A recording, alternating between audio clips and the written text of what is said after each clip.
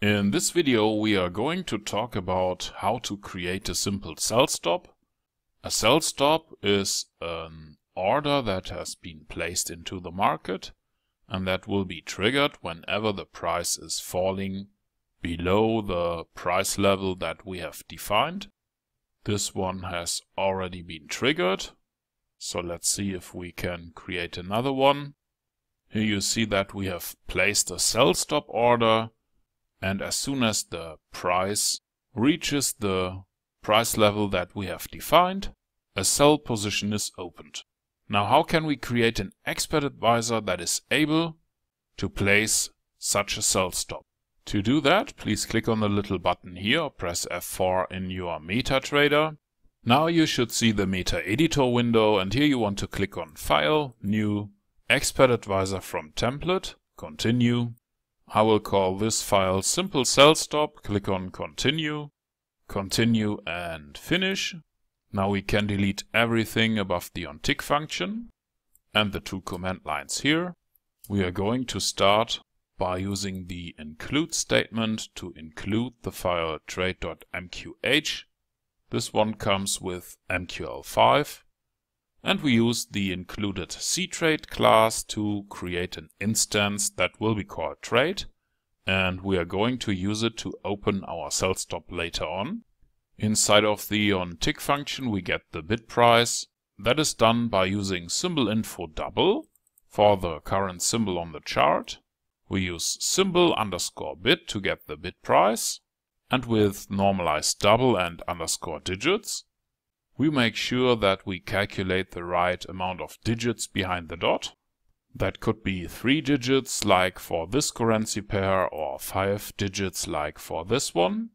Let's get the account balance by using account info double account underscore balance. And we also want to calculate the equity by using account info double account underscore equity.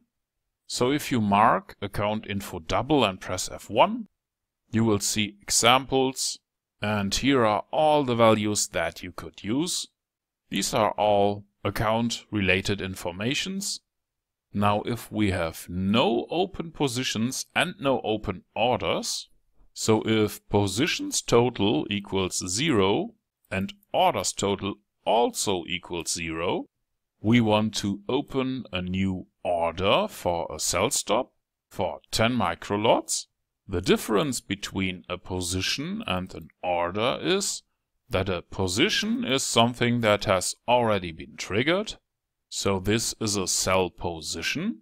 But when the position is closed, we place an order below the current price level and as soon as our order is triggered it becomes a position. To do that we use trade.sellStop to open an order for 10 microlot 100 points below the current price level. We don't use a stop loss here and the take profit should be 300 points below the current bid price the last parameters here are used to set an expiration or a command, but we don't need that. Instead we use the comment function to output the current balance and the current equity directly on our chart. Okay, that's it. Please click on the compile button or press F7. And if you don't have any errors here, please click here or press F4 to go back to MetaTrader.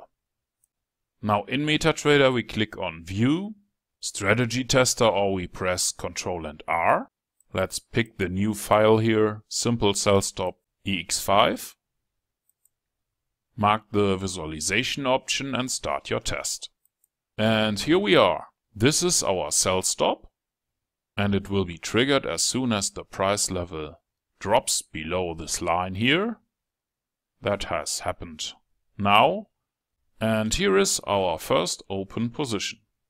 And now you know how to code an expert advisor that is going to create automated sell stops. And you have done it yourself with a few lines of MQL5 code.